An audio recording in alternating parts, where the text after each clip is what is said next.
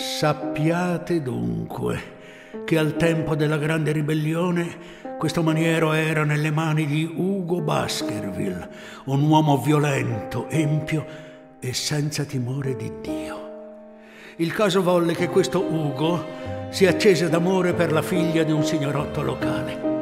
Un giorno, con l'aiuto di alcuni balordi suoi compagni, Ugo rapì la ragazza e la rinchiuse in una delle stanze del suo castello. La povera fanciulla, con grande coraggio, si aggrappò all'edera che ricopriva la parete del castello e calandosi lungo le grondaie fuggì attraverso la brughiera.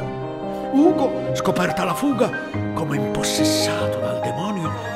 urlò che avrebbe reso anima e corpo al diavolo quella notte stessa, pur di riuscire a riprendersi quella sgualdrinella, e si lanciò con i suoi compagni all'inseguimento, ma ben presto scomparve nella brughiera.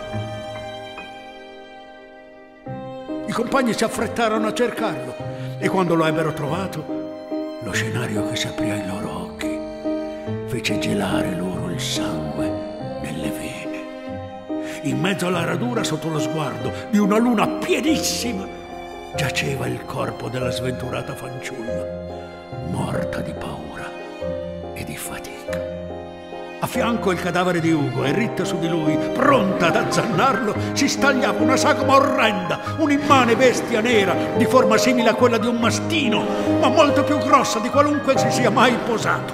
Proprio sotto i loro occhi quel mostro piantò i denti nella gola di Ugo Baskerville e quando volse su di loro le pupille infuocate e le mascelle grondanti di sangue, quei testimoni, urlando come ossessi, fuggirono terrorizzati attraverso la brughiera.